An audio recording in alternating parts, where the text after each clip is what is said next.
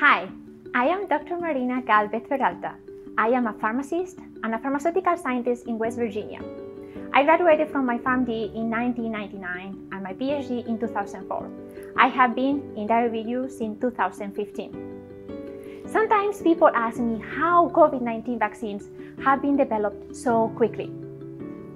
The COVID 19 vaccine development process has been the most efficient we have seen to date because the entire medical, scientific, and public health communities mobilized like never before to end this pandemic. Although COVID 19 was a new coronavirus, vaccine scientists did not need to start from scratch. These scientists built on a body of knowledge from extensive research of other viruses and the technology used to respond to them.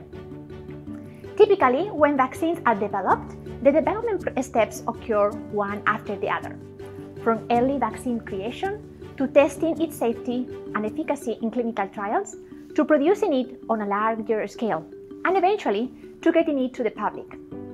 This process normally takes years to decades for a vaccine to make it from the first steps of development to use it in our healthcare facilities.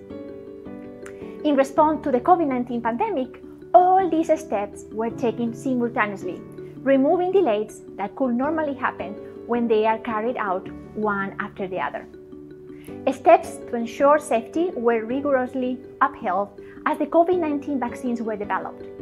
The clinical trials, which include tens of thousands of people, showed that COVID 19 vaccination caused no serious side effects and was highly effective in preventing severe disease and death from COVID 19. These vaccines have now been given to millions of people in the US and all around the world, and the vaccines continue to undergo the most intensive safety monitoring in the US history. I trust the top minds from around the world that have come together to develop these vaccines and end the pandemic, which is why I chose to get vaccinated against COVID 19.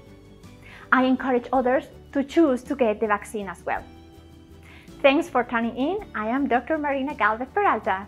For more information about COVID 19 vaccines or find a location near you, visit vaccinate.wv.gov.